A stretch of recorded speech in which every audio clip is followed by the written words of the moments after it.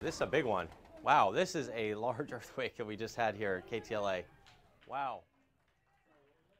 Uh, Goodness gracious, we're not sorry feeling guys, anything don't know if you just felt that down there in San No. Diego. We just had a pretty decent sized earthquake here in Los Angeles. Wow, live on the air with you here uh, in the Tech Report. That. That we was hear everybody in the background. Everybody have a couple okay, Rich? aftershocks here as well.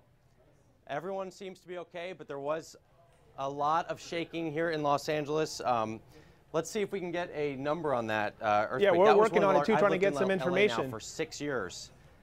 yeah, Um, we, we did not feel one of the anything here, Rich. felt.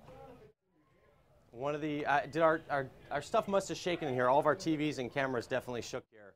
Uh, Yeah. wow, that'll definitely shake you up in the morning at 6:27 on a Monday morning.